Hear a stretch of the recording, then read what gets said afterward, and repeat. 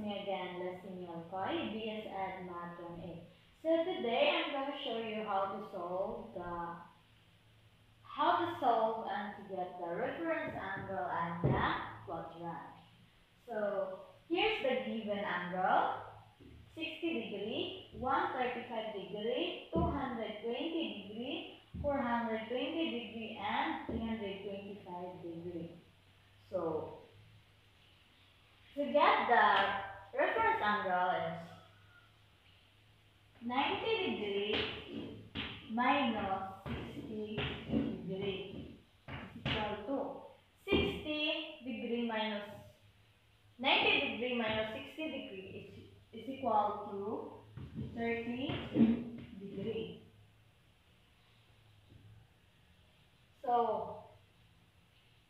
60 degree is belong to quadrant 1 because 0 to 90 degree is quadrant 1. So next 180 degree minus 135 degree is equal to 45 degree. The 135 degrees belong to quadrant 2.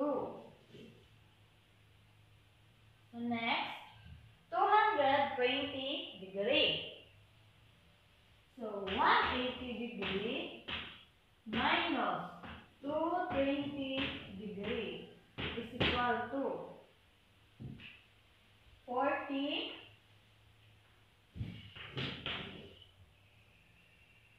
degree.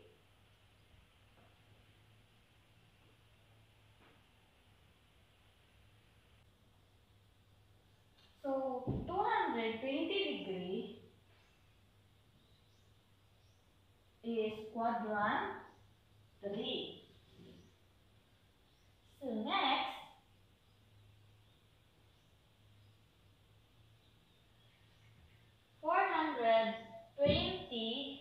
degree minus 360 degree. So 360 degree minus ano na na? 420 degree minus 360 degree. So equal to 60 degree. 420 degree is in quadrant 1. So, 325 degree minus 360 degree. So, 360 degree minus 325 degree is equal to 360 degree minus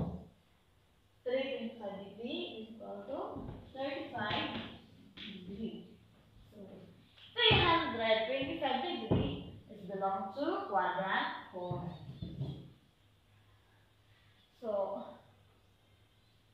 this is how to solve and get the reference angle and that quadrant.